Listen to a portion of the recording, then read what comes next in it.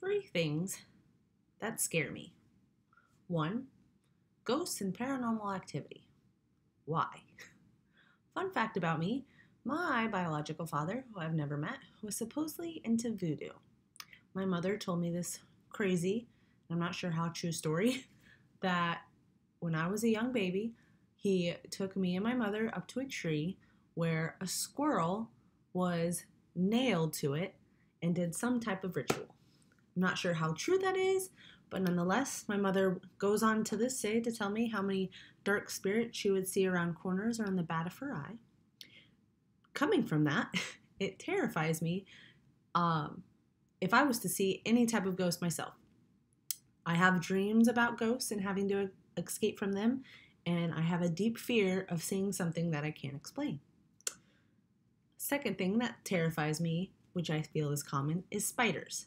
Spiders are everywhere, especially in Florida. My Nana owns eight acres of big grassy tree land, and it is filled with spiders. When I was young, I went into the bathroom one early morning, and a wolf spider, which can be as big as your hand, decided to lay its eggs.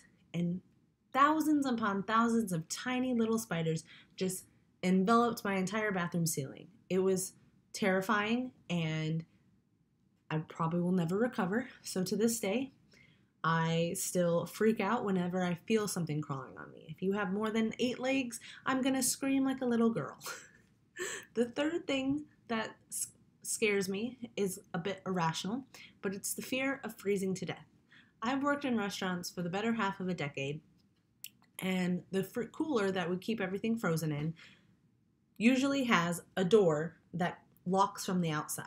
So when you go in, coming out, you have to unlock it to get back out, and it will stick. And years ago, I did get locked in for probably only 30 seconds, but it was long enough that it terrified me. So, any instance where I feel that I'm going to get hypothermia and shiver to death essentially scares me. If I was to become fearless of any of these, attributes, I would have to hope that I would one day become accustomed to liking spiders.